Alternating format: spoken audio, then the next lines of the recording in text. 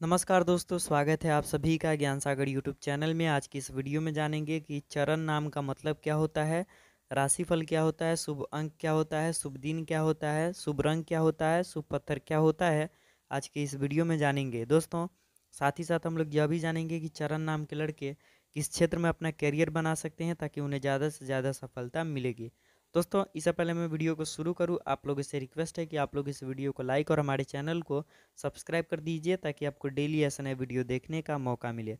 चलिए दोस्तों, हम लोग वीडियो को शुरू करते हैं और चरण नाम का मतलब को जानते हैं।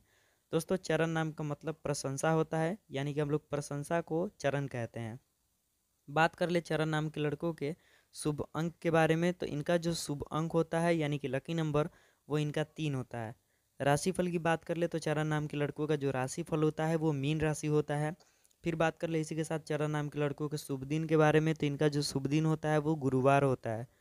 और बात कर ले हम लोग फिर चरण नाम के लड़कों के शुभ रंग के बारे में तो इनका जो शुभ रंग होता है, वो पीला और नारंगी होता है। बात किया जाए फिर शुभ पत्थर के बारे में तो इनका जो शुभ पत्थर होता है, चरण नाम के लड़कों का वो पुखराज होता है।